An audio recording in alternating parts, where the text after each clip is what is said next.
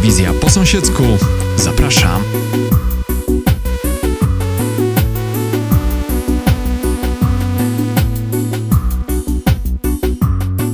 Z plaży w Zalesiu kłania się y, y, Jacek Czanecki, wójt gminy Chemża.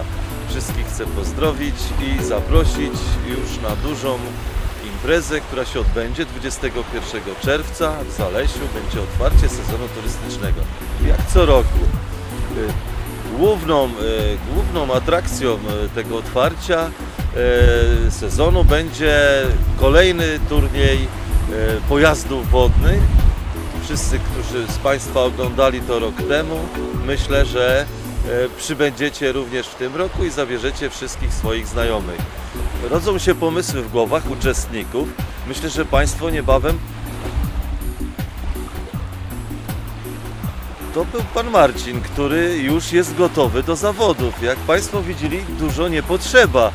Trochę butelek po wodzie ostromecko i jakieś banie, baniaki, plastiki i mamy tratwę gotową. Zobaczcie jak powstała ta tratwa. Naprawdę to nic trudnego. Myślę, że pan Marcin wykazał się wspaniałą inicjatywą.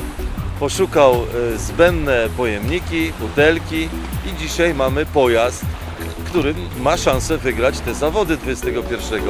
Myślę, że Państwo na to nie pozwolicie.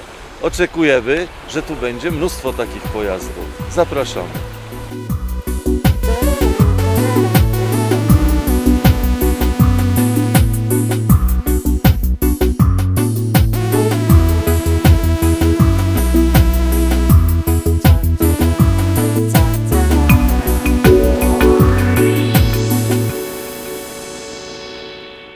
Chciałbym, żebyście Państwo wykazali się inicjatywą i wszyscy spotkamy się 21 w Zalesiu.